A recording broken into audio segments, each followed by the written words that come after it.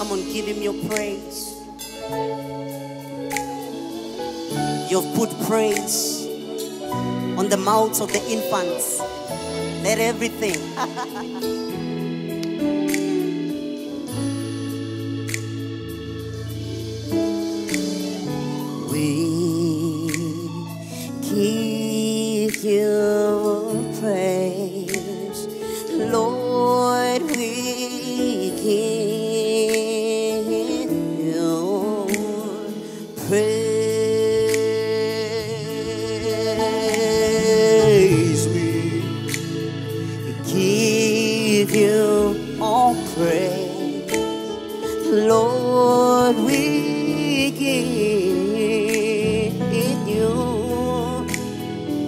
Come on, lift your voice wherever you are and just give him praise. Come on.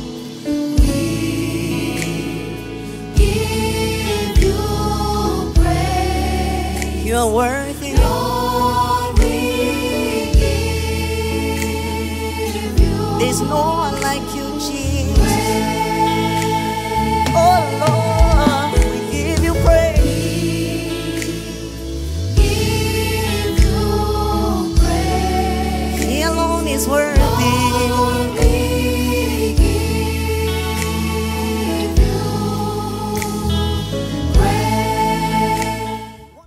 Father, in the name of Jesus Christ, Lord, we thank you so much for this day that you have woken us up, Almighty Father. You have given us uh, the gift of life, the gift of salvation, the gift of family, oh God. Everything that you have bestowed on us, these are just blessings from you to us, oh God. And we just want to pause and say thank you for your goodness and for your faithfulness of our lives. Thank you for your mercies that are new today, your grace that is sufficient over each one of us, for your love and your compassion, O God, that no one compares to my Father. We thank you because you have loved us and you have continued to fight for us. You have continued to see us through our seasons of life up until now, my God. Even as we take this time to, to just delve into your word, I pray that, Lord, may we be refreshed in your presence, may we be encouraged, and may you uplift our hearts today. In Jesus' name we have prayed. Amen and amen. Good morning, and thank you so much for tuning in to today's time of prayer and devotion.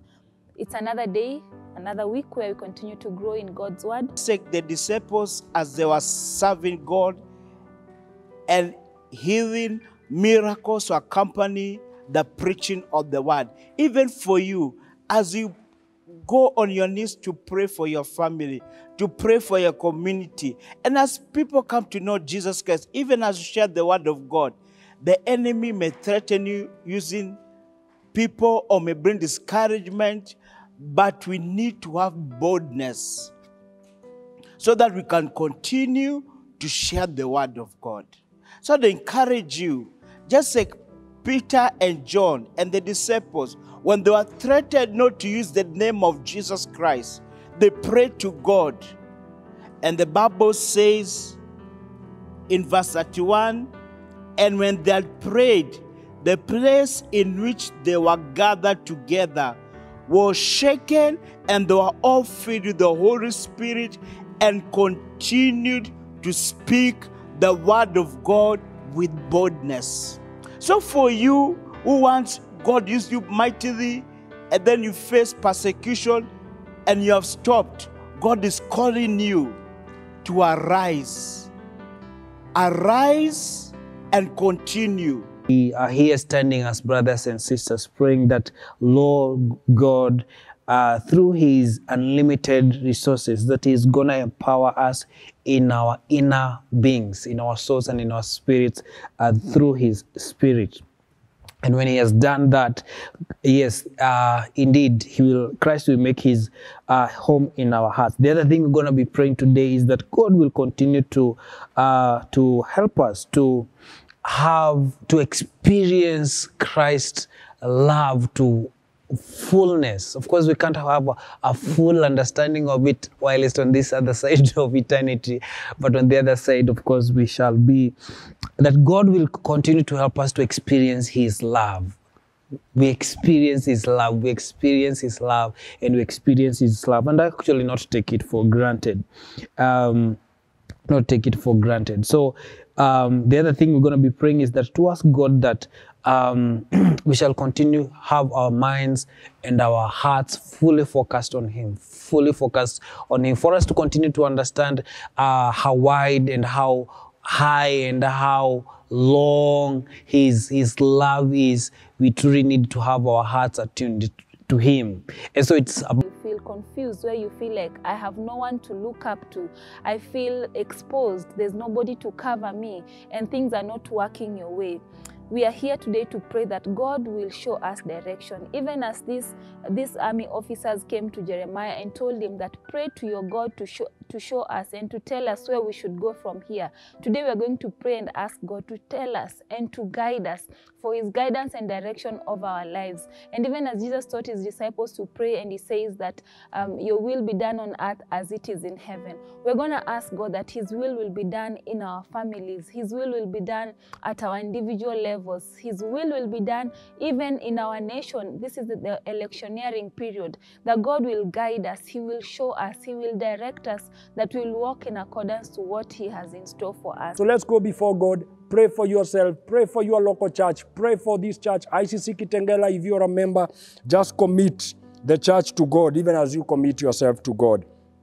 Heavenly Father, in the mighty name of Jesus. Oh Lord, what a joy to know that indeed you have called us out of darkness into the marvelous light of your Son, the Son that you love, oh God. Thank you because you have called us out of a life of emptiness, my Father. You have called us out of a life of sin, oh Jehovah, and a life of uh, selfishness, oh God, to a life that focuses on you, to a life, oh my Father, that looks to you, to a life, oh my God, that is lighted by your light, oh God, by your glory, our Father. Lord, to a life that, that is meant to glorify you and to honor you. We thank you and we bless your name. And now, Lord, we just want to join Paul, my Father, in this prayer to the church in the Thessalonica, dear Father, praying that the church will be counted worthy of your calling, my Father, because you are the one who calls us, oh God. You are the one who calls us to yourself, oh God, and you call us to live in a certain manner. And therefore, God, we want to trust you. We want to pray to you this morning, oh God, that indeed will be counted worthy of the calling. As individuals, as your church, oh God, will be counted worthy of the calling that you have called us, my Father.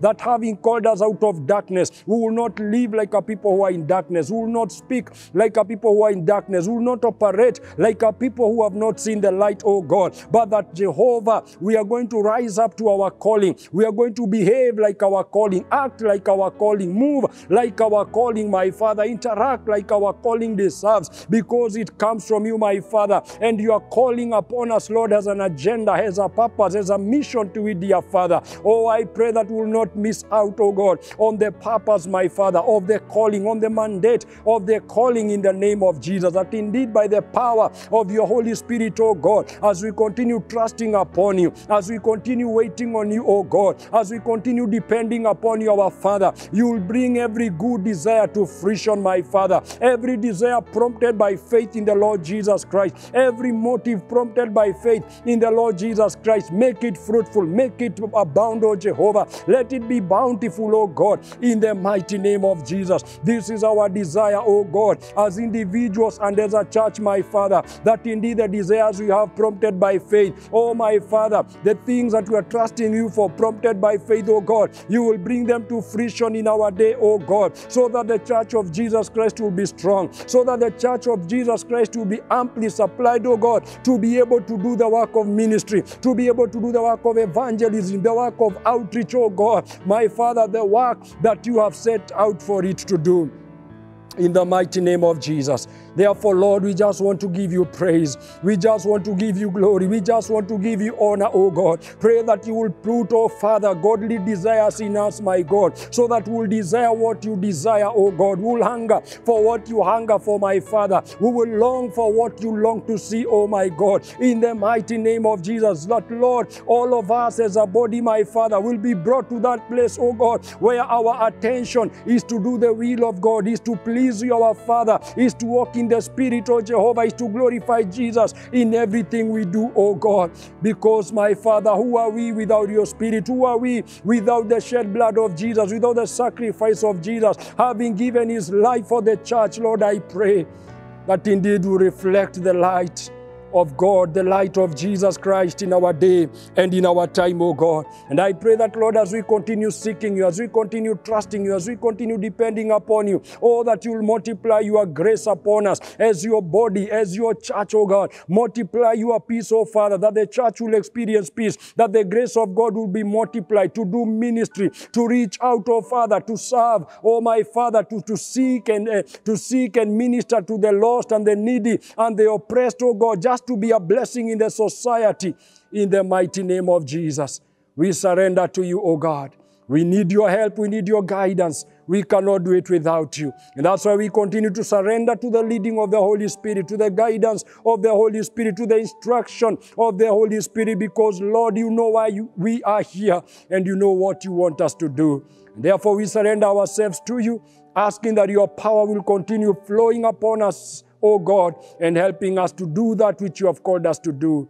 In the name of the Father, the Son, and the Holy Spirit, we pray and we believe. Amen and amen. Just say this together Our Father who art in heaven, hallowed be thy name, your kingdom come, your will be done on earth as it is in heaven. Give us this day our daily bread. And forgive us our trespasses as we forgive those who trespass against us. Lead us not into temptation, but deliver us from evil. For yours is the kingdom, the power, and the glory forever and ever. Amen and amen. Thank you so much for joining us. I pray that you'll continue to seek God for direction, for guidance, for wisdom, and above all, that we'll continue praying that His will will be done in our lives, in our families, in, even in our nation, and even in the church of God, that His will will be done. Thank you so much for joining us. May you have a blessed day ahead. Give you praise. I'm thankful for your mercy and your grace.